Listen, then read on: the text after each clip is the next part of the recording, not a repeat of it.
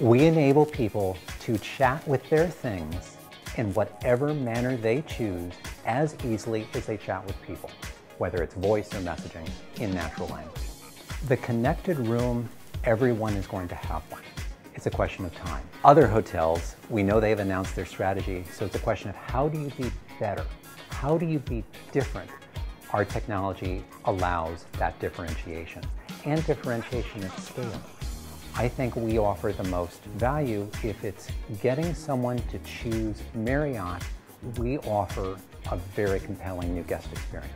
It's fun. I like talking about our technology. I like talking about the impact it has on people. So the chance to get up there and to see people respond, that's why I do what I do.